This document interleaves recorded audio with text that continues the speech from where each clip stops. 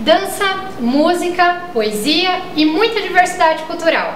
As estrelas do Incomar brilharam no Show de Talentos 2016. O festival que acontece todos os anos no colégio é a oportunidade para deixar a timidez de lado e mostrar as habilidades através de apresentações em grupos ou individuais.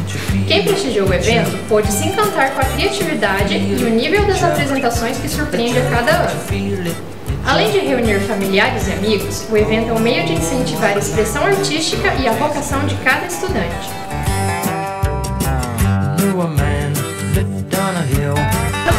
Acontece o show de talentos que é muito importante para os alunos, onde eles conseguem mostrar os seus talentos, interagir com os outros alunos. E é gostoso também que nós, as professoras, conseguimos interagir com ele de uma forma mais divertida e que transforma uma união melhor no Incomar.